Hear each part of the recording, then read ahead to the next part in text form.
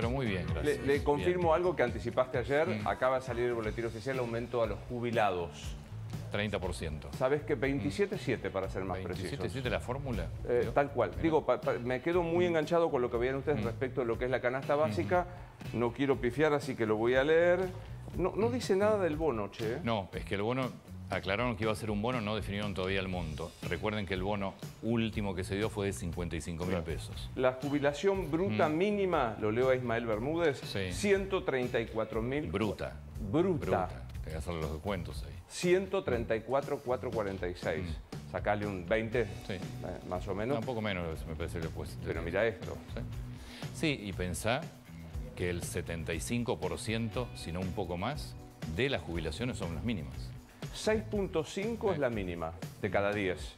O sea, el 65% de los jubilados, me decía Andrea Falcone los otros días, tiene la mínima. Y después un poquito más. Claro, el escalón siguiente. Hiciste un Sí. desastre con la pirámide. Sí, ¿no? hay más pirámide. No hay más. No hay más pirámide. Totalmente. Bueno, paro. Sí. ¿Qué, qué- qué percepción tenés de, este, de- No, de lo yo que ves recién hoy? estábamos haciendo un resumen además con, con Rubén Rabanal, porque ahora mañana tenés un paro de sanidad, el- está en- están obviamente el comienzo de clases en duda. No, me parece que es toda un- una, una línea nueva de sindicalistas que recién llegan, que están tratando, claro, que están tratando de diferenciarse de los que estuvieron hasta el año Son pasado. todos jóvenes que no, no, no Son todos gestionaron. jóvenes que se están haciendo cargo de los sindicatos, que vieron que los que estaban antes no protestaron Claro. ni se quejaron de un país desastroso como el que teníamos y como el que estamos teniendo. Y me parece que lo que están queriendo es marcar diferencia con sus antecesores. Está intentando ser irónico porque Sí. me imagino en casa alguien que está viendo eso, Sí. ¿qué le pasó al AGE? No, tuvieron, estuvieron afónicos, ni siquiera difónicos. Y ahora les agarró con... Es, vos ves las caras de los sindicalistas son los mismos de siempre, siempre. que nunca aparecieron en cuatro años de desastre de la Argentina y que hoy... Apoyaron. Y, como, y apoyaron, claro, eran parte del gobierno. Sí, eran apoyaron. parte- eran parte Eh, del gobierno. Pues siempre yo digo esto, es decir, ¿el gobierno de quién? Alberto, Mm. Cristina, Massa, Sí. los gremios, Sí. los movimientos Sí, hay sociales, algunos empresarios, ¿eh? la izquierda. O sea, toda esta Y gente... algo del sector empresario Sí, señor. también, ¿eh? Sí, señor. Sí, señor. ¿Sabías Digo, que en una economía inflacionaria los márgenes de ganancia que tenés son inéditos? Porque como no tenés precios de referencia de nada, pones los valores que quieran. ¿Qué es lo que estamos viendo en la economía hoy, la Argentina? Entonces, acá son todos muy responsables. El- y a mí lo que me, me indigna, pues la verdad, es siempre tomás de rena a la gente Obviamente. siempre extorsionás de la misma manera. Que aparte Mm. estoy seguro que la enorme mayoría de la gente que está ahí no se siente representado por los sindicalistas que nunca están. Digo, Obviamente que no. eh, esto es estadístico. De esta cola, la mitad está en negro. Puede ser. Eh, bueno, sí, la economía argentina Por eso tiene digo, negros. Tal o sea, la. Mm. mitad de la gente que está ahí está en negro, jamás en su vida se acercaron. De la otra mitad, un 20, un 30 son autónomos o Mm. monotributistas. En su vida, digo, los monotributistas, los autónomos hemos sido ignorados. Entonces digo, tomás el, el servicio público como si fuera algo propio. Pues esta es la, la- la concepción de los sindicatos. Es Mm. Sí, mío. pero ahí, pero ahí tenés un problema enorme del gobierno de turno. Algunas veces el gobierno de turno está en connivencia con los sindicatos. Es un servicio público esencial. Vos tenés que garantizar una determinada cantidad de frecuencias. ¿Qué están esperando para, primero, o para denunciarlos o para hacerse cargo como Estado de que se cumpla el... Pero no, como los trenes son de Maturano, como los colectivos son de... Sí, de, de los empresarios Sí, amigos de, sí. de los DOTA y compañía, los subtes son de los metros. entonces. Entonces, Pero vos como Estado tenés la obligación, como gobierno administrando el Estado, tenés la obligación de hacer cumplir la ley. Es un servicio público esencial. Vos no podés permitir que no circulen los trenes. mira, yo no creo que la judici- cargo. No creo que la judicialización sea el modo de ser, pero hay un punto en que sí. Entonces yo digo, Pero- pero, lleva a los tribunales al tipo que te deja sin ser... Claro. el, el desastre de hoy. Pero de vuelta, si es un servicio público esencial, vos tenés la obligación. Sí, señor. Primero los gremios tienen la obligación de cumplir con el servicio público. Y vos, el Estado, tenés la obligación como gobierno de, de hacer cumplir eso. A, a nadie le importa nada. Y después, no pusieron un solo colectivo de más. Nada. Si vos ya sabías que iba a haber un paro. No, ¿qué dice el gobierno? Bueno, la verdad que pensamos que se podía resolver. No llamaste a conciliación obligatoria. Y la reunión la haces para las 10 de la mañana. No tiene sentido. A las 10 de la mañana, ¿en Bueno, serio? de vuelta, quiero decir, estamos en el mismo marco de no poder solucionar las colas de la Pero- SUBE. pero Hay una ausencia eso- de gestión por eso te- importante. pero están cometiendo lo, lo- están actuando igual que, actuó el gobierno anterior. Están en la política para facilitarle la vida a la gente. Mira, yo tengo diferencias con algunas, algunas posiciones de Patricia Burrich. Nadie puede negar que llegó y planteó un protocolo de la, digamos, gestionó, tomó una decisión, es acá, esto, se la judicializaron, fue y la defendió. Ahora digo, ¿quién es el secretario de Transporte de la Nación? Yo, vos sos un tipo recontra información, Mojeta o Molleta. Sí, viene de Córdoba. Exactamente, que está ahí. Viene de Córdoba. Manon En, Córdoba, en Córdoba tenía a cargo el transporte de Córdoba. En teoría, ahora el gobierno anterior, que estaba Juliano, que había estado Meoni fallecido y que después en el medio que me olvido, eran tan inútiles también. Totalmente. No hacían absolutamente nada. Pero ahí había una diferencia. Estaban convencidos mm. que este era el modo. Porque, digamos, yo, eh, sí, yo creo que... Sé que hacen negocio... Claro, bueno, era el modo. Ahora, este gobierno que llegó acá, hoy debería haber... El secretario de Trabajo. Y después, otra, yo no sé si lo tenemos como para mostrar ayer, la Asociación de Empresarios de Transporte emiten un, gráfico de cómo está compuesto el precio del boleto. Yo no sé si lo tenemos, si lo podemos ver. Claro, dice, 200 pesos es el boleto promedio, 400 es el subsidio, nos faltan 400. ¿Por qué te faltan 400? ¿Por qué? No que los gastos de seguro, de combustible, de patente, de personal, así todo te lo... ¿Y por qué 400? Esa es la otra. Nadie sabe exactamente cuánto cuesta cada colectivo en la calle de cada línea, pues son diferentes los costos. y aparte yo digo, los vengo escuchando eternamente. Deja la concesión. No podés prestar, no podés prestar el servicio, retírate. Retírate que seguramente... ¿por qué, no, ¿Por qué no se van? Porque siguen recibiendo un quantum de dinero sin discriminación y que les va a ellos y no los Porque los subsidios de vuelta, cuando vos abrís una caja de subsidios es lo más fácil para abrir algo de corrupción. Porque obviamente es una maniobra de corrupción, si no hay control de nada nadie sabe explicar cuánto es exactamente el costo de un pasaje por colectivo porque no, porque no es lo mismo una línea que otra. No, claro. Entonces vos tenés que hacer un costo diferencial. Nadie lo, pero no lo sabe, lo deben saber los empresarios, no lo sabe el gobierno, pero, este ni el anterior. Pero Antonio, tardaron tres mm. años para poner la SUBE con la mm. intención de ver quién viaja y cómo viaja. Mm. Lo boicotearon. O sea, lo boicotearon para que no puedas saber si vos viajás, tenés cuatro viajes, yo solo uno, entonces subsidiarte a vos y no a mí. Sí, pero aparte para saber si vos tenés una UH, si tus ingresos, entonces a vos te corresponde, vos lo podés pagar o vos tenés que pagar la tarifa. Entonces digo, eh, los sindicalistas son, la verdad que yo lo veo, lo volví a ver a Daer ayer, a Héctor Daer. Che, Héctor, fue diputado del ah. gobierno anterior, ah. bancó a Massa, mm. todo esto. yo, la democracia es tan generosa que tiene mm. hasta la, gentileza de decir que cualquiera puede hablar. Un toque de apuro, mm. compañero Daer, un toque de apuro. Este, los ferrocarriles. Eso sería un poquito de vergüenza. No, eso decía mi vieja, porque mi vieja me decía, ¿no te da un poco de apuro? Cuando, cuando yo mandaba una macana, me decía, ¿no te da un toque de apuro? Yo digo, un cachito. Ahora, dicho esto, el gobierno, ¿qué decisión toma?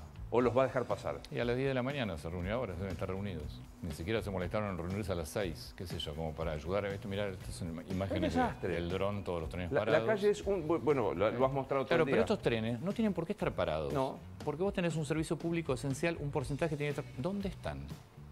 ¿Quién hace cumplir la ley? Hay un señor que se llama secretario de transporte, que nunca me acuerdo el nombre, tiene un apellido este, árabe, si no me equivoco. Mm. Jalil, no, ¿cómo se llama? Este, ah, ayúdenme con el secretario de transporte. Ah, no, el secretario de transporte es Mojeta. Mm. El secretario de trabajo. Este, ah, sí. No me sale el nombre. No, también tampoco. Todavía no me los aprendía, no, aparte se te van. Pero pues, es un tipo capacitado en el área. No estaría. No, no, está bien. pero es un tipo capacitado. Entonces, acá falta mucha reacción, falta mucha gestión. Digo, hay que apurarse porque la Argentina necesita, cambios urgentes. En esto es donde sí mi ley debería implementar su teoría donde no puede dejar pasar una. Acá no puede dejar pasar una ya. Por eso digo, y tenés que dar ejemplos de que se acabó la Argentina de antes. Por eso digo, con todos los achaques que pueden hacerse un montón de cosas, la paparruchada de eso de tres personas mm. y te llevo detenido, Patricia Bullrich en el momento uno dijo es esto. Coincido 100%. Es esto vamos por este lado. No les gusta, corregimos, de, pero a partir de acá y arriba de la vereda. Y no se puede... acá es hacer cumplir la ley, ¿eh? Pero bueno. Es hacer cumplir la ley. Vos tenés que tener un porcentaje de trenes funcionando sí o sí. Que es lo mismo en las manifestaciones. O sea, no puedes cortar una ruta. No es un invento Patricia Burri. Está en la ley. O sea, tenemos una mala costumbre. No sé cómo se soluciona. No vi refuerzo. No, no hay. No, hay refuerzos, no hay refuerzos porque dijeron, pero esto dijeron que suponían que lo iban a arreglar, entonces no pensaron refuerzos. Esta es la otra. Vos no tenés que pensar que no lo vas a arreglar, vos tenés que ponerte en la cabeza siempre el usuario. La crisis. El usuario. Vos tenés que facilitar la vida a la gente. Ahora, es pregunta, mm. trabajo, que ahora se, mm. depende de Petovelo. Sí, claro. ¿No estaría haciendo mucho eh, el, Porque digo, te peleas con Grabois, te peleas con los comedores. bueno, es el área más compleja de todas. Que hoy, hoy leí, uy, qué pena que no puedo recordar, que hay una crisis también entre Petrovelo y Caputo. Y bueno, pues, quien maneja el dinero en un área que necesitas mucho dinero y que además el área de Petrovelo, no sé si hoy estás en condiciones de poder cortar partidas, ¿eh? como está la Argentina. No, y aparte yo digo, Petrovelo tiene el expertise para enfrentar este tipo de crisis. No sé, a lo mejor sí, no, no tengo, creo que no he cruzado una sola palabra. Y si no, lo que tienen que hacer es llamen a, a Jalil. Jalil es el de La eh, Rioja, ¿Viste que era un paisano árabe? No, no, es el gobernador de La Rioja. Ah, no, Jalil. Ah, no. ¿Cómo se llama el secretario? Me averiguo cómo se llama el secretario de em, Trabajo. Pero también es... es como así? ¿Cómo es? Yacine, Yacine. Sí, ¿Viste? Sí. Era de, de país sirio-libanés con toda seguridad. Si no, llamen a Jalil, es el gobernador de La Rioja, ¿no? Y que le pidan las, las cuasimonedas que va a sacar ahora. Y listo. Arranca, ¿no? Te vi hoy 45 días y tenés cuasimonedas. Linda estafa la gente, ¿eh? No, no sé lo que pensás, no me doy cuenta de lo que estás pensando. Linda estafa la gente, qué bárbaro. Pero es, esa es otra. ¿eh? Venís de años de administrar mal, llevando todo tu presupuesto completamente en rojo, solventado por fondos discrecionales que te daba el gobierno de la nación, para, obviamente para después estar siempre alineado al gobierno, se te cortan los fondos y claro, tenés un Estado completamente desfinanciado. Claro. En lugar de ajustar las cuentas que haces, estafás a tu gente. Emitís más con una estafa. Ahora emitís, claro, con un, con un papel. Claro, ¿sabes? Y, ya estoy viendo a los riojanos, digo, porque nosotros no somos los más grandes de este canal, viste que acá nadie cumple años. por vos. yo soy el más grande de este, este canal. Yo me acuerdo de épocas de Lecop, mm. Lecor, Secor, este, Bogarcha. ¿Te acuerdas que tuvimos uno que llamaba? Sí, sí, uno, otro Bofe. Bofe. Entonces, ¿qué hacía? Había tipos... Y el patacón que era... Lo queremos, el patacón el Patacón era prácticamente el dólar. ¿No? es verdad, porque preferías un patacón y no un, un, un Lecop. el Lecop era nacional, que era una letra, pero que te, autorizaban a pagar cosas. Y después tenías, Secacor era el de Córdoba, el BOF era el bono federal de Entre Ríos o de Chaco. No, el de Chaco era el... Eh, no, Bogarcha era Chaco. Bogarcha era Chaco. Bono de garantía del Chaco. Sí, uno llamaba Quebracho, cualquier cosa. Y el patacón en la provincia de Buenos Aires. yo que estaba en Rosario, entonces no tuvimos, porque Reutemann se vanagloriaba de que lo único que no había hecho. Entonces, ¿qué hacía? Tenías una agencia a cambio, mm. como un arbolito, entonces te decía, ¿qué tenés patacones? Te lo tomo al 70. Entonces vos tenías 10 mangos y te daban 7. ¿Qué es lo que va a pasar, ¿Es lo que va a pasar con el bono de cancelación de deuda de La Rioja cuando le pagan a los empleados públicos y a las empresas proveedoras? Obviamente la provincia para pagar impuestos te lo va a tomar al 100%. Es el, resto va a ser a un taller, si va a ser a un taller a arreglar el auto y el mecánico te va a decir, bueno, te lo tomo al 70%, pues él se tiene que dar vuelta y comprar repuestos. Además no tiene validez nacional, con lo cual eso es una estafa. Es, una, estafa. ¿Sabes por qué? Por no manejarte dentro de tu presupuesto. Bueno, porque es un... Es que, Le, paguen a los artistas ahora con esto, en los es un mantra de, Pancho Olivera de hace mm. meses y meses. Che, ¿cómo ajustan las provincias? O sea, ¿cuál es el ajuste de las provincias? Y sigo diciendo. ¿cuál es el... Hoy te... ¿Por qué trajiste una licuadora hoy? Sí, sí, sí, para explicar qué era, porque viste que es motosierra y licuadora. Antonio era un periodista muy serio, yo me acuerdo cuando yo era muy chico. Pero la motosierra ya sabemos qué es, pero ¿qué significaba la licuadora? ¿Qué significa que te licúen el salario, la jubilación, el plazo fijo, los ahorros? Para eso. Para eso. No, pero digo, mm. licuadora funciona, está clarito que todo esto. Motosierra sigo viendo que en el gasto público... Motosierra no nos estaría... No estoy viendo. No nos estaría, sí. Ah. Si vos, Pancho, Estás por Venite, Pancho, puede ser porque quiero despedirte con el tema. Como él es el que denunció todos los fideicomisos y a él le tienen que caer. Sí, claro. Hoy vi, en, ¿qué haces, Pancho? ¿Cómo va? Hoy vi en la tapa de todos los periódicos una cosa que hace mucho tiempo contaste, que, es, que maneja 250 millones de dólares este, el, fideicomiso de Grabois. En los últimos cuatro años, sí. Sí, sí. Es uno de los tantos, ¿no? De los 29 nacionales. En este caso, se nutre de parte del impuesto país que se supone que en algún momento va a desaparecer. ¿250 millones de dólares? Sí, porque eran 500 mil millones de pesos por, los cuatro años. Dinero, ¿no? No sé.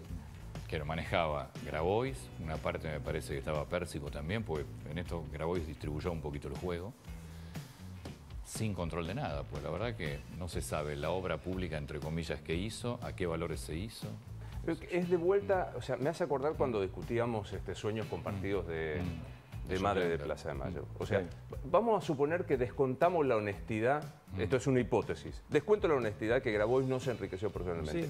¿Por qué un movimiento social maneja el dinero del Estado con el, este megaministerio que tenían con una mega estructura? El otro punto es por qué el Estado termina transfiriendo funciones que son... ¿Eh?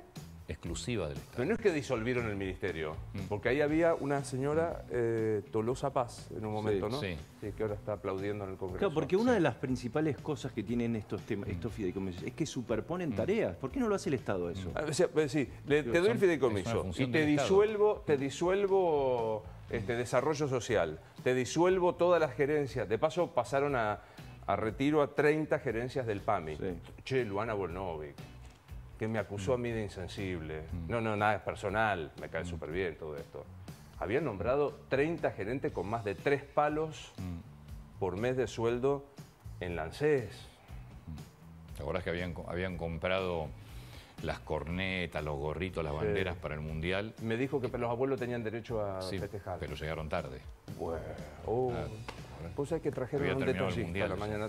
Tenemos un detallista ahora a la mañana. Pero bueno, mirá todo lo que tenés para ir peinando de a poco el Estado. Mm. Fíjate que esto no, había aparecido en el radar, aparece ahora. ¿Esto qué es? Un de, para erradicar el hacinamiento, urbanizar mm. todos los barrios populares y crear millones de terrenos familiares con servicios destinados de vivienda y quintas productivas, que es lo que visita Argentina, si quieren resolver su crisis de edad.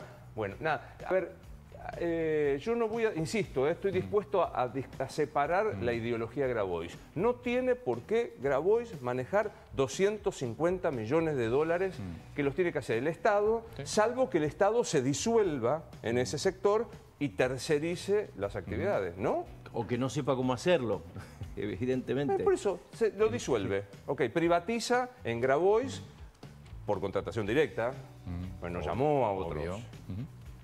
Privatiza la ayuda social y se la da a Grabois. a mí, de vuelta, me parece que el gobierno va a tener que empezar a agilizar esto. Temas fideicomisos, empiecen a, cerrarlos, a reemplazarlos y manden toda la justicia.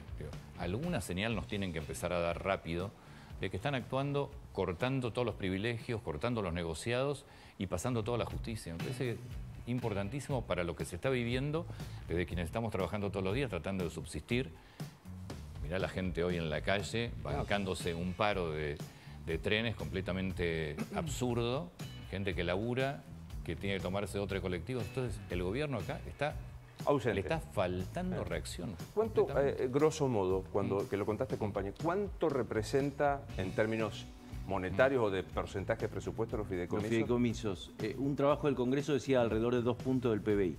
Dos puntos del PBI. Es una barbaridad de plata. Sin control eh, Sin ningún control porque pasa por afuera de la Secretaría de Hacienda. Porque lo sacás del presupuesto. Claro. Porque son funciones que debería hacer el Estado, que deberían estar presupuestadas. Vos las sacás del presupuesto, entonces no tiene control. Y ahí tenés, cuando a vos un funcionario te decía, no, en realidad el salario es esto, pero yo recibo mm. algo del fideicomiso, mm. del fuego. Mm. Esos fideicomisos pagan sobresueldos en la administración hace muchos años. es una... Entonces digo, me parece que como, por ahí. Como pasa siempre, cuando vos haces las cosas complicadas, vos las complicás para que no tengan control. Cuando vos empezás a sacar del presupuesto fondos para armar ya está, no hay más control. Igual que los subsidios, no hay más control. Pero ya lo vimos. todo... Sacás, plata y se la das a la Universidad Madre de Plaza de Mayo. Sacás plata y se la das a universidades del conurbano para que hagan cine. ¿Te acuerdas cuando se cuando cuando No hay control sobre el gasto de las universidades, no hay control. Entonces, sospillo administrativamente, porque si se la doy a la Universidad Pancho Olivera, que como es autónoma, no la puede tocar nadie, se autocontrolan. no hay control. Fuiste. seguro. Fideicomiso es lo mismo, subsidio lo mismo, sin control. Digo, han armado una estructura de corrupción, una mega estructura de corrupción gigantesca. Mm. inédita ¿eh? para mí. Para, para esto es a lo largo de los años. Los fondos estos empezaron en el gobierno de Menem. Claro, el más grande, por ejemplo, es el del, el del gasoil, el mm. del transporte. ¿Por qué eso no se puede hacer mm. directamente desde el Ministerio? Era el curro para el transporte, o sea... Porque vos lo sacás y ya que fue, queda fuera del control presupuestario. Ya está. Es un negocio que manejan entre algunos y chao, se acabó. Bueno, te vamos a despedir. ¿Cómo era que se llamaba el secretario? ¿Cómo, eh, Cecilia? Yacín. Yacín. Hoy, hoy vamos a tratar... Sí, igual debe estar, ahora debe estar eh, reunido. Son las 10 ah, de la mañana, así que ya debe estar. Bueno, bueno. Para digo, señor secretario de, de Trabajo, dejó a la gente sin los gremios, estos, como dice Antonio, toda gente joven, sí. novedosa, Sí. que, que nunca gestionó en los últimos No, no, tiempos. que han llegado ahora para cambiar la imagen que tenían los sindicatos anteriores que no hicieron nada. ¿Quién- Dame apellidos que no me lo sé. Y acá está Maturana.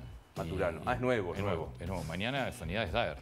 Daer. Y después tiene Baradel. Toda gente nueva. Ah, Baradel, Ba- Ba- ¿cómo es? ¿Vara? Baradel. Sí. Ah. Igual empezás a escucharlo, lo vas a escuchar. Viene mucho, sí. ¿no? Pero, por ejemplo, qué sé yo, este, Martínez, todo eso. este, No, no, olvídate. Vienen, vienen todos a cambiar, todo lo que está, vienen a cambiar. ¿Listo? Esto, porque hasta el año pasado estuvieron Qué desaparecidos. lindo momento este pase porque Sí. enseño que educa. Te juro que educa. Bueno, Bueno, lo dejo, ¿eh? Muchas gracias. eh. Por favor, buen programa. Vamos a empezar, Pancho, ¿te parece? Cuatro puntos centrales en la información hoy para Buen Día Nación. Hasta las 13 te acompañamos con todas las noticias. Obviamente el primero es el paro de transporte que deja a todo el mundo